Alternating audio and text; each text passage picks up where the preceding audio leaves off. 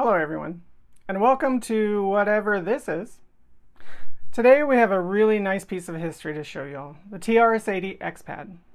Released in 1982, it is a color computer peripheral that allowed you to digitize points on a plane. It uses a tethered capacitance pen method of detecting X and Y position and proximity to the surface. The pen includes a pressure-sensitive switch to detect contact. I really lusted for this device in the early 80s. It sold for $350 and was probably worth every penny. I remember visiting the Radio Shack Computer Center in Modesto on McHenry Avenue. I walked into the store and almost put down a deposit. The salesman looked very pleased. In the end, I didn't do it. I probably just bought a game cartridge. But the universe made me whole again two years ago when I got this fine example. Today I want to run through the demo of the unit. This software is from the back of the manual. If you decide to type in all of its millions of lines of code, it does a really good job of showing off what the device can do. Before I start, I want to repeat that this is a basic computer program. I think it not only shows off how powerful of a device this is, but also shows just how capable the color computer is as well. Let me load the program and run it.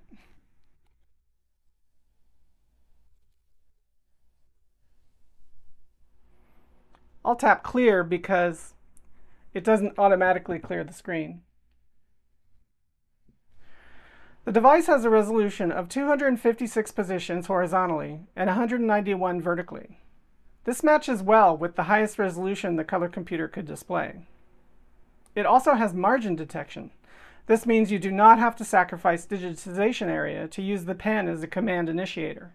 There are status bits for pen in proximity, pen down, top margin, and the last bit will be active for the side margins. Also, the bottom margin can be detected by y coordinates greater than 191. You saw me previously use the erase function by just tapping the correct top margin space. Let me insert a different piece of paper and show some other functions. Here I use the line command to draw some lines.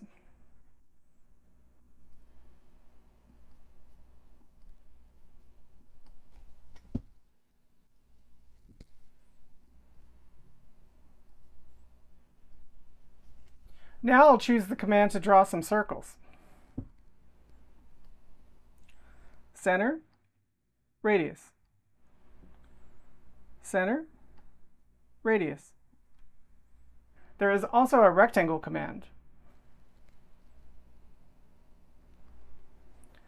Corner 1, corner 2. Corner 1, corner 2. And finally, a freeform drawing tool.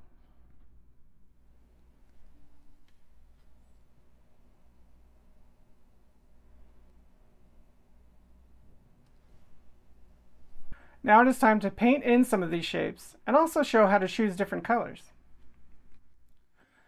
Paint, green, paint, yellow here. Paint, yellow here. Paint, blue here. Let's set some type. Tap the tool and tap the start of the point. The text tool and the start.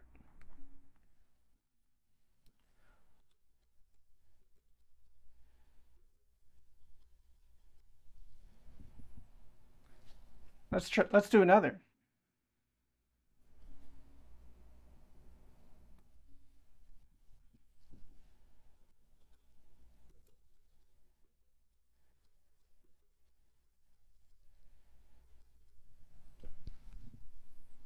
Almost got it. Seeing type on a graphic screen is always cool for the color computer. In this case, it's using Color Basics Draw Font. The final tool is Erase. It could use a bigger brush.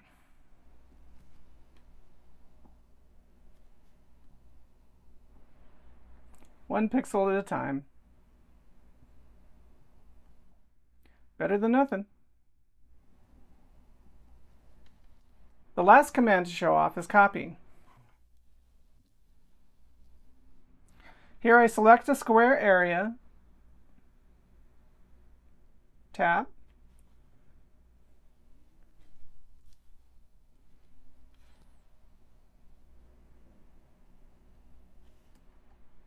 and I can copy it to any other place.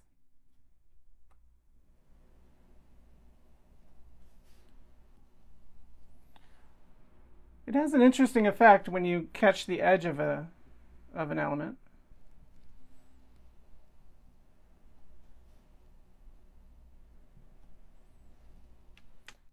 Does a little weird fringing. As you can see, this is a very useful device. Perfect for any of your color computer owning friends. The Color Computer Archive has a copy of this program and the manual if you'd like to check all this out for yourself. That was the demo, and now it's time for the sponsor of this video. I want to take this opportunity to thank my brother Tim for uh, allowing Sibling Rivalry to sponsor this channel and this uh, episode that he's doing today. Uh, thanks, Tim. Yeah, it's a very special event, the September uh, video. Uh, we're very happy, uh, and I'm proud to be sponsoring me as well. so go watch our sibling rivalry shows. Yeah, every Friday, a new episode. And now back to this. It's one thing to show you how the device is used. It's quite another to take it apart and figure out how it works. But first, let's look at this manual. It was clearly created by the same team that did Getting Started with Color Basic. See these wonderful drawings? And all the puns that are in the section headers. It really takes you through the simple and the advanced topics. I'm especially impressed with the code that calculates the area for an arbitrary shape. Of course, the manual isn't perfect. The demo program previously showed forgot to include a pclear statement, so it crashed when using the copy function. Also, in parts describing the text handling, it says it's using print at, but of course, every CoCo programmer worth his salt knows you don't use print at on a graphic screen. This thing also came with an overlay. As an Intellivision owner, you know I can really appreciate a good overlay. It nicely shows the location and display area that you draw in, and the margins are pre-populated with the command names and the colors the demo program uses. Now let's move on to the device itself.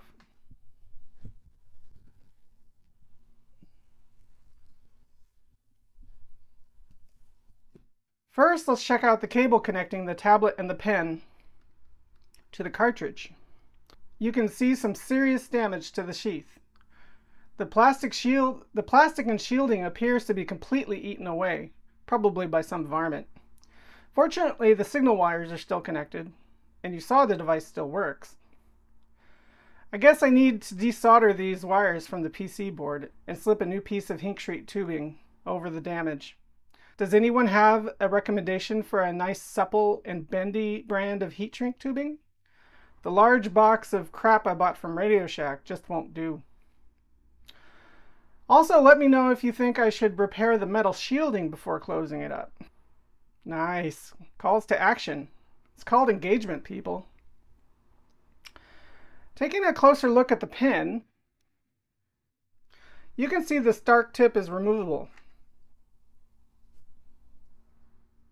I checked with the multimeter to see if the plastic is conductive, and it's not.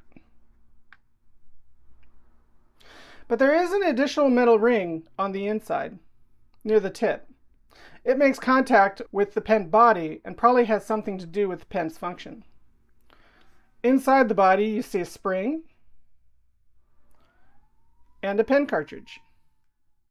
This appears to be the original, so it isn't drawing very well anymore. And deep inside the body of the pen is a switch.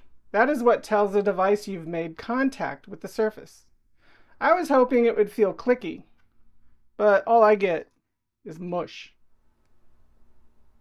There's also a small set screw retaining any electronics mystery. I won't be removing that. Be sure to thumbs down the video if this bothers you. Now let's open up the cartridge. This is what plugs into the computer. Hmm. No label. We spared no expense. Well, we'll unscrew the one screw holding it together. And here's the board.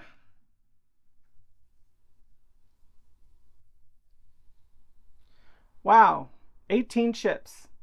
The last date code I can find is the 8th week of 1982. You'll find a list of chips in the description. More analog stuff than I expected. But what did I expect? Comment below if you know. Let's take a look at the backside.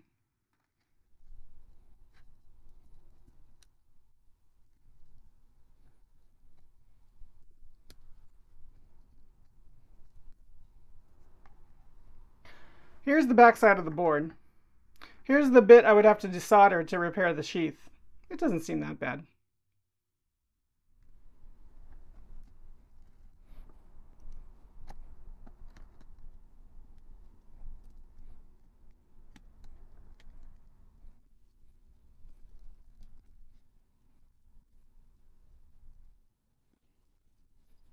Moving on to the main board, we'll unscrew this aluminum back.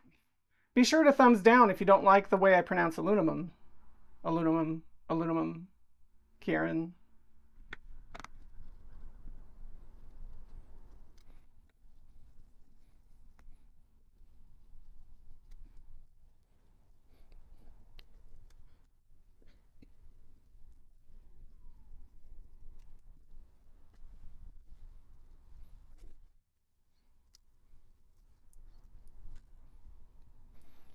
Here's the printed circuit board.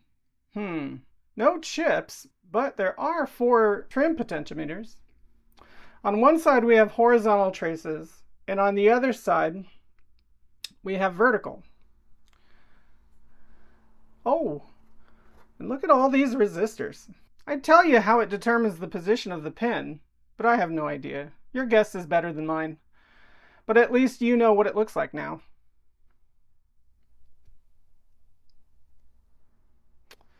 Well, that's it. Hopefully this video made it in time for Septandy 2023. I also hope you learned something. Bye!